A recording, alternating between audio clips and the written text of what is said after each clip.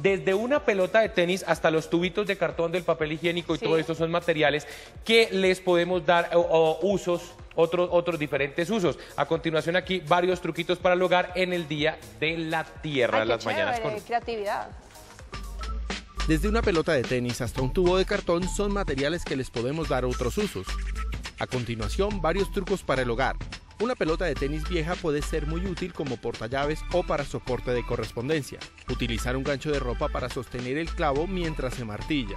Antes de tirar un POSIT, se puede utilizar para remover migas y basuras entre los espacios de tu teclado. Ponerle una media en la punta a la aspiradora para encontrar objetos pequeños.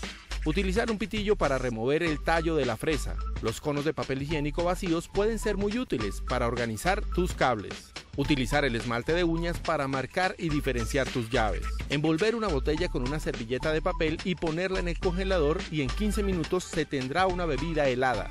Esta es una forma rápida y económica de obtener un parlante para tu teléfono. Recortar un pedazo de cartón del papel higiénico y utilizarlo para crear una mini matera para una planta. Estos trucos nos pueden ser útiles para hacer más fáciles algunas tareas cotidianas.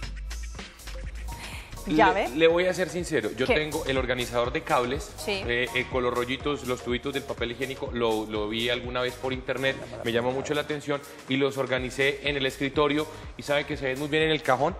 Y es perfecto para el Día de la Tierra. Y es mucho y es mucho más práctico, o sea, todos los cablecitos que uno tiene, porque uno le salen cables por todo, Sí. que el de la USB, que el del celular, que el de no sé qué, que dice cuándo, que uno tiene un reguero de cables en el escritorio, bien organizaditos, bien dobladitos, eh, ahí en los tubitos queda perfecto y no le hace tanto A veces uno piensa que son desperdicios, pero pueden reutilizarlos de una forma que ayuda al medio Me ambiente. gustó mucho la pelota de tenis. La ¿Sí? pelota de tenis, eh, eh, ahí con- le pone un par de ojitos, le abre la boquita y puede poner la correspondencia. Que uno a veces no sabe dónde poner los recibos. Ay, Esa está bien.